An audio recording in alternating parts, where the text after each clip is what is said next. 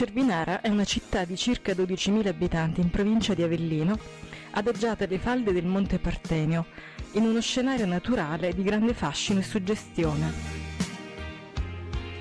Sul nome si fanno diverse ipotesi. Secondo alcuni Cervinara discenderebbe da Ara Cereris, un tempio che sarebbe esistito nelle frazioni tra valle e castello, dedicato alla dea delle messi. Questa ipotesi discende da Fra Arcangelo da Montesarchio, che nel Cinquecento pretese di trovare un'origine latina per no, i nomi di tutti i comuni della Valle Caudina. Secondo altri esso dipende invece da un'ara cervis, cioè altare dei cervi, animale riportato anche nello stemma comunale. Infine altri sostengono che il nome sia legato ad una cella vinaria, cioè una cantina per il vino, inclusa in una proprietà rurale monastica. È forse questa l'ipotesi più attendibile. Urbanisticamente Cervinare è formata da frazioni, ognuna con la sua atmosfera e la sua specificità, persistente dall'Alto Medioevo, epoca dalla quale per la prima volta viene documentata la loro esistenza. Il primo casale ad essere menzionato negli atti è Valle nel 1273. Nel 1300 le fonti citano per la prima volta frazione Ferrari, anche se della chiesa in essa esistente si parla già nel 1280. Anche frazione Pantanari è citata nel 1300. Un documento del 1532 già ne menziona 11.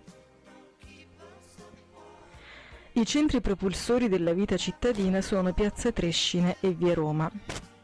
Il primo costituisce il cuore amministrativo della città, il secondo il luogo di aggregazione giovanile, con la sua monumentale villa comunale. Il largo ed alberato rettifilo che partendo da Via Roma conduce alla stazione è zona signorile ed elegante, con tutta la serie di bei villini che si aprono ai suoi lati, Zona signorile è anche quella dei Salomoni, dove possiamo trovare un gran numero di palazzotti appartenuti a famiglie nobili di un tempo.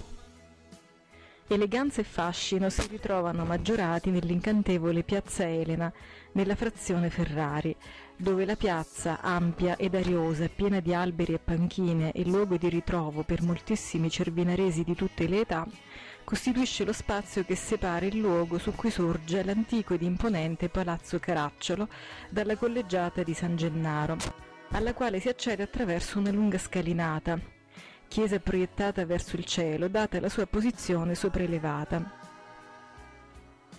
Castello Ioffredo, la zona sconvolta dalla terribile alluvione della notte del 16 dicembre 1999, è la zona più a monte, verso la montagna mentre verso il piano si sviluppa la frazione valle, pulita e curata, con l'antica chiesa di Santa Maria a valle che la domina dall'alto.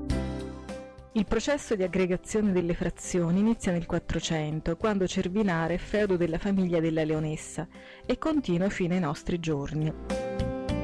Il massiccio del Partenio che fa da cornice alla città costituisce la peculiarità del paesaggio. A ciascuna frazione cervinarese nell'antichità corrispondevano mestieri diversi. Mentre i Salomoni erano la zona dei segaturi, segatori, Ferrari era il luogo dei commerci. Nella zona di valle si praticava la raccolta della legna, cui si dedicavano soprattutto le donne, mentre a Castello Ioffredo corrispondevano i mestieri di bascaiolo e carbonaio.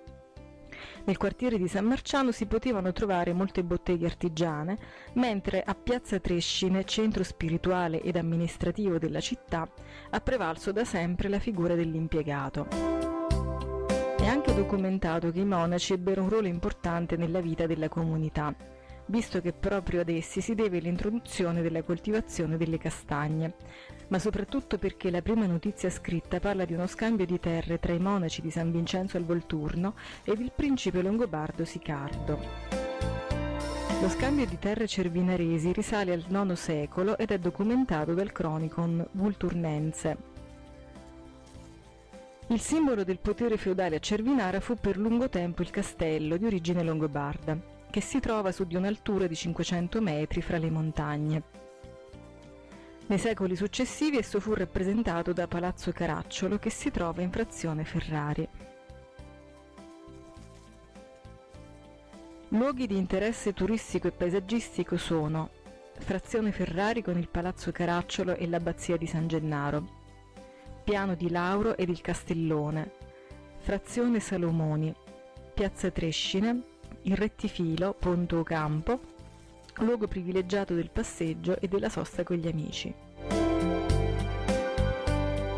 Fede e folklore della cittadina sono rappresentate nella festa in onore di San Gennaro, patrono della città, nella Via Crucis del Venerdì Santo, nella processione della Madonna Addolorata, nella festa di San Rocco a Ferrari. A Carnevale luogo la Zeza, pantomima che si svolge tra la villa comunale e le piazze cittadine. Ad agosto si svolge l'estate cervinarese. Vi è poi la Sagra delle Castagne organizzata dalla Proloco a Ferrari e Castello Ioffredo. La Proloco organizza anche il bellissimo presepe vivente che si tiene a Natale nei suggestivi vicoli di Frazione Valle. Ogni mercoledì nella centralissima via Roma si tiene il mercato. Cervinara ha dato i Natali a tantissimi uomini illustri, tra i quali ricordiamo Carlo del Balzo, scrittore politico parlamentare, Gaetano Clemente, magnate nel settore edile, emigrato in America, Domenico Clemente, notaio e sindaco di Cervinara, Pasquale Clemente, notaio, uomo politico, senatore della Repubblica, Riccardo Bruno, avvocato, principe del foro avellinese, nipote di Domenico Bruno, oculista di grosso valore e ricercatore scientifico. Carlo De Bellis, avvocato, sindaco di Cervinara nel 1978, assessore e consigliere provinciale nelle fila del PSI. Narciso Marro, figlio spirituale di Padre Pio, missionario in Africa. Angelo Renna, insegnante e scrittore a cui è intitolata la locale Proloco. Onorio Ruotolo, scultore, illustratore, editore, giornalista, poeta, emigrato negli Stati Uniti, autore del monumento ai caduti che campeggia nella villa comunale di Cervinara. Tarcisio Zullo, sacrista, lettore, e bibliotecario, conosciuto come la Guardia di Padre Pio. John D'Agostino, fumettista ed illustratore, grandi disegnatori di fumetti, tra i quali l'incredibile Hulk, recentemente scomparso nella cittadina americana del Connecticut, dove era emigrato nel 29.